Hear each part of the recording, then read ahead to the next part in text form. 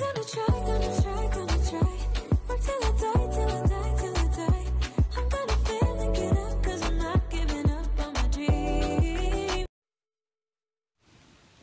guys, it's Brookelynne and welcome to my channel. So today's video is going to be a review of this Effin Tan. Yes, you heard me, Effin Tan in the shade Ultra Dark. It's basically their tannin foam.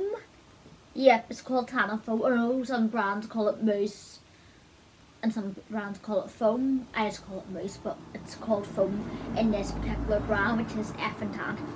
Okay, the name literally makes me giggle so hard. Literally. The name is... okay.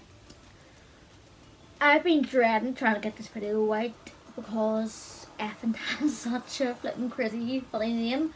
But it is available at Superdrug. I got it 10 days ago, so not last Thursday, but the Thursday before. It's now Sunday. And I've tried it out twice. I am wearing it now. Now the camera does wash me out a little bit around the chest because obviously sometimes the tan doesn't last that long around here and my is showing. right, that's what the packaging looks like. It's quite chic looking. Horton, if you notice I like teeth marks on the lid, my French on Horton chewed my lid of this and I was reading at him. Such a lovely packaging, he ruined it with the teeth marks and all. Literally, I left this tannin bottle on my bed with my towel, so I had towel underneath the tannin bottle and my mitt and all. Done my skincare for two minutes, like literally two minutes, caught him with my tan. I have raging, livid, literally livid, but the packaging's beautiful. It's like a greyish, kind of like a nudie greyish colour. It's nice. It looks more grey on the camera, but kind of has that grey look in real life, but more brown in real life, if that makes sense and the writing's all in white so it is decently clear I would say. It's very very simple the packaging too and yeah little security sticker there. But yeah it's a new tan available in Superdrug and they do have the foam so they have medium, dark and ultra dark. I think that is yeah medium, dark and ultra dark. And you also have two Grata tanners. Now the Grata tanners are in like a big pump like a circle pump bottle. And they have the them in light medium and me in the dark. And I think do have some tannin waters too and like facial tanners and stuff but I haven't tried them. I've seen a couple tans well a good range of tans in Superdrug my sister actually got the what you call it the gradual in me in the dark just to try out for her holidays and I might get that at some point either for my holiday. Maybe oh, I've got a tan, like the gradual one to use for my holiday in June. Depends on when this video goes up, I don't know. But I'll probably get the Effin Tan um gradual tanner after he's at tan off the other gradual tanner I have. The other gradual tanner I have if I could speak, which is the Garnier one. But yes, I do like it. So it does retail for, I think it's £19. I will put it on here. So it's available on Superdrug and also on the Effin Tan website. And if you hear any noises from out the um, street, I do live up in a built up area. So excuse me you hear some dog barking. Not my dog, someone else's. Or if you hear someone like talking in the street, cars going past, planes going past. Apologies flat, I do live up in built up area and I do live quite close to the town. So yeah, I can't do anything about that. So moving on. Um yes. And what else? So I did get some Superdrug, like I said before. They had a good range in the one in Castle Court. So if you're looking for one, either the one in Castle Court or the one in town too, I believe it's available on all the other Superdrugs. I'm not entirely sure, but the ones in town, definitely. So if you're looking for it, the best bet is to go to the one in town. Because sometimes some shops in different parts of the country can have like less stock of it. So yeah, the smell of it does have a bit of a sweety smell. Has a bit of a plasticky smell, but not too much. It's very burly layer smell, so it can cause much problems with people who are sensitive to smells because it's really hardly noticeable. I barely notice when I like put it on the body. I am wearing it now, so it's a couple of days old, and I know the camera is washing me out. But that's literally I don't look that pale in real life. I actually look a lot darker. I should stop filming my iPad showing these tan reviews, but hey ho. I don't know why my camera is picking me up so pale. I'm not that pale. I can assure you I'm not. But it is a nice, I would say dark on me. I've got pale skin, so I'm an NC10 and MAC. When you pump it out, it does give more of like a golden effect. But when it's rinsed off, it does turn out a bit more olivey. Because I remember asking the girl who was serving me in Tiptree when it was banned tan, asking about the undertone and all, because it is important to me. I prefer an olive or natural undertone. So I remember asking her, do you know what undertone it is? Is it olive? Is it golden? And she said, it's olive when you rinse it off. And she is right, it does give you more of an olive cast. Like I can see my arm, even though it looks proper white to you, it's not.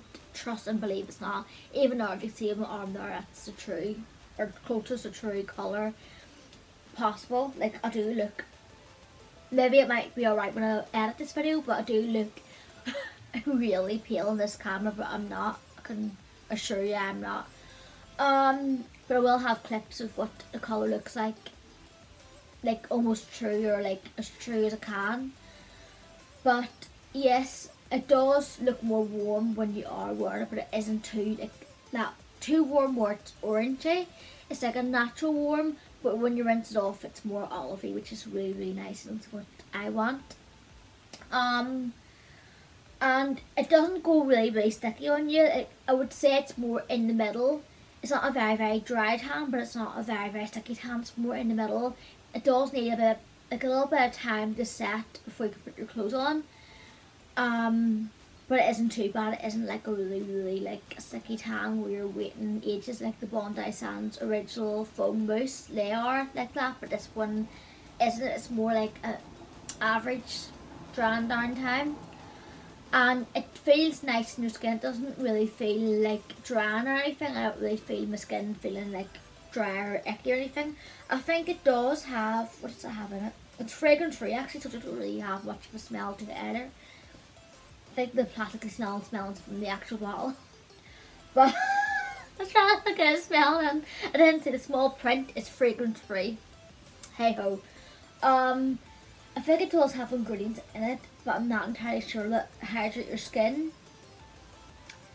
Because I think it's meant to be more of a natural tan. It's also vegan too, so that's a good thing. I remember seeing it on what was it, drug and it said it's a vegan tan, so it's really, really good if you are vegan or you are into cruelty free or like you just can't tolerate like any brands that like aren't cruelty free, which I think we all should be going towards the cruelty free brands.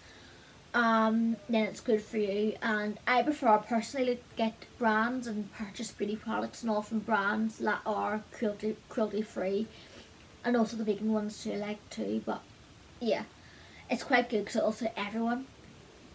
Um, what else? It wears off really really well. Like I wore it was last Friday, the first time I put it on before going to work. I wore it and it looked really really nice on. And um, when it rinsed it off, it looked like a beautiful like dark colour. Some parts it can look ultra dark, even though it doesn't look in the camera. I would say like it is like definitely dark, but we built up that's dark. Maybe like one it does go dark. I'd say sometimes my arms can look like that, but I would say two layers will give me ultra dark with this tan, but sometimes it can look ultra dark with only one layer.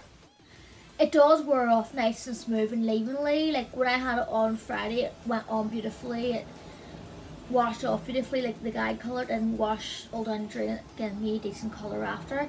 And it just wore off nice and beautifully.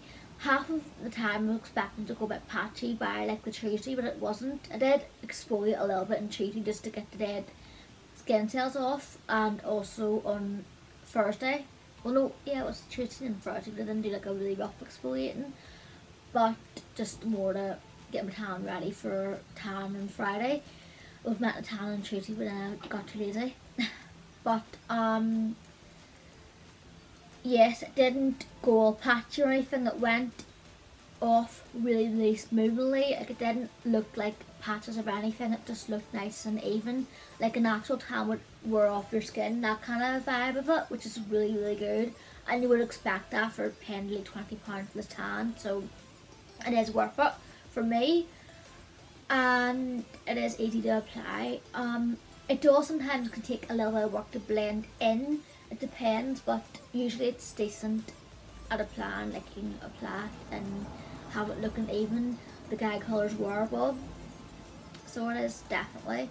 So um, I'm gonna go to the before, and after demo.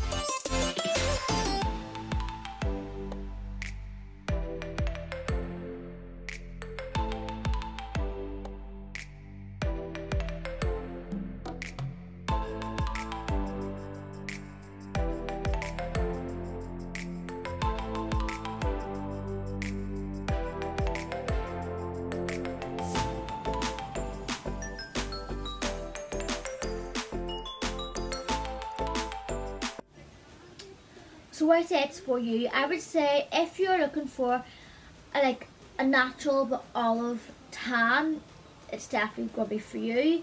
And if you're looking for a vegan tan and cruelty free tan, definitely because this one is cruelty free.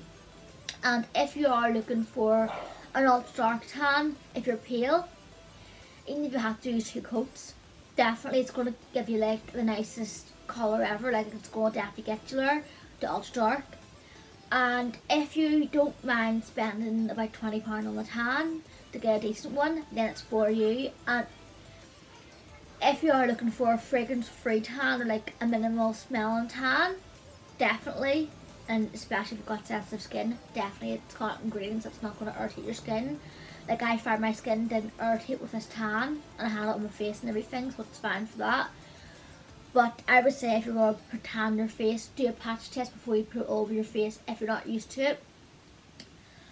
Especially if you've got very, very sensitive skin. I have sensitive skin, but it isn't like really, really, really sensitive. Like I can get away with most things, but I have to be careful sometimes. And if you're looking for an accessible tan, like you want to pop in Superdrug and a tan, definitely it's going to be free because it's going to be in the stores waiting for you to buy the bottle. It's not going to be for you if you are looking for a light or medium tan. No, I would say get the medium tan and mousse or one of the graduals to get a lighter colour. It's not going to be for you if you're expecting where it does go on like a golden tan. If you're expecting it to stay really, really warm, then no. Go for something like um, the Solait tan in Superdrug. Get that. Or the, let me see what else ones are golden. There's quite a few of them that are golden maybe the Liquid Gold by Bondi Sands, one of them. And it's not going to be you if you don't have the budget to buy this tan. Unless you save up for it, you get a voucher for your birthday, then it's for you. But if you're looking for a tan that you can easily repurchase, you have it in your budget every single month, every two months, but you can only afford really like a £10 or below tan, I'd say no. That if it's a special occasion if you can, yes, but for daily tan, if you're you have to watch it for the no, um, or should I say weekly or twice weekly tan, um, it's not gonna be for you if you really want a nice fragrance to your tan. You want like a nice cherry watermelon. No. But mainly for me, I prefer like a good tan. It's gonna give me a nice color and it's gonna wear off nicely and last nicely over the smell of it. Um, what else? And it's not good for you if you live in a country where you can't get effing tan. Sorry, I'm just laughing because that name cracks me up. But if you live in a country where this tan isn't available, then it's not going to be free you unless you have a friend who lives in the country where it is accessible and you can, they can send you it over. Then yeah, but if not, no. So I hope you enjoyed this video and I'll see you again for the next one. Stay gorgeous. God bless. Bye.